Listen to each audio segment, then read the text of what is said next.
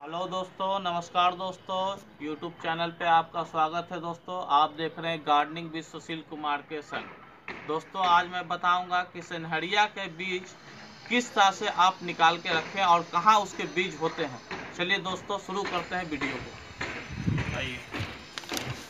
ये सादा पेपर ले लीजिएगा। और ये देखिए, ये जो बीज सूख गए हैं पूरी तरीक़ा से, ये सिनहरिया के बीज हैं। ये देखिए, मैं इसे निकाल के यहाँ पर ले लेता हूँ। इस तरह से, इस तरह से ले लेता हूँ।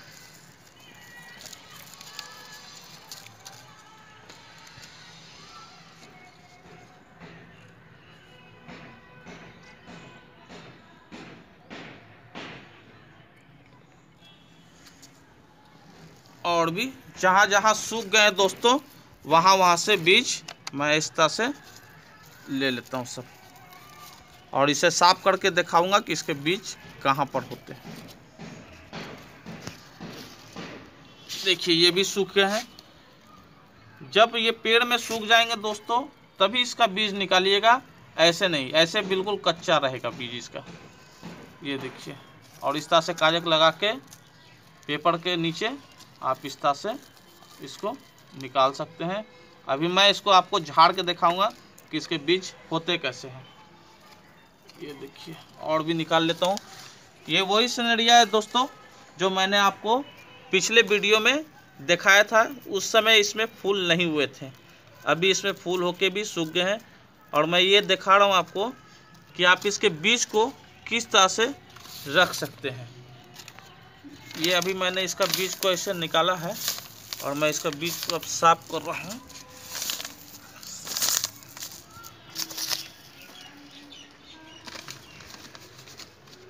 ये ऊपर का जो है, ये हटा दीजिएगा, इसका कोई काम नहीं है।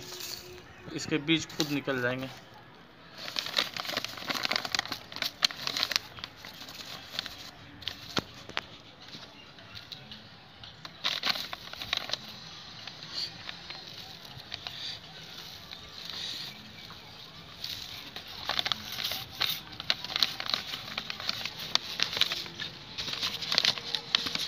ये देखिए दोस्तों इसके बीज हैं।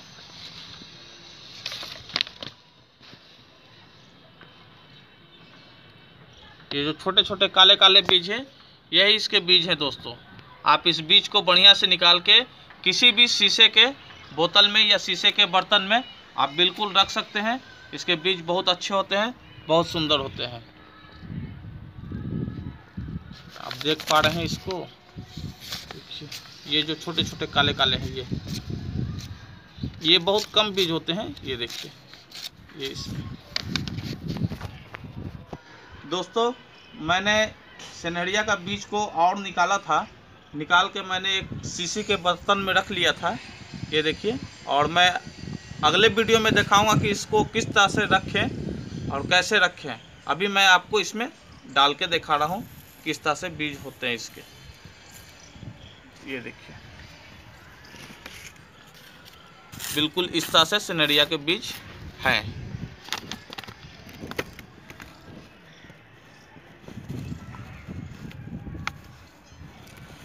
ठीक है दोस्तों, वीडियो अच्छा लगा तो लाइक कीजिए शेयर कीजिए सब्सक्राइब कीजिए और दोस्तों बेल घंटी बजाना ना भूले दोस्तों। नमस्कार दोस्तों, अगले वीडियो में मैं फिर मिलूँगा। नमस्कार दोस्तों।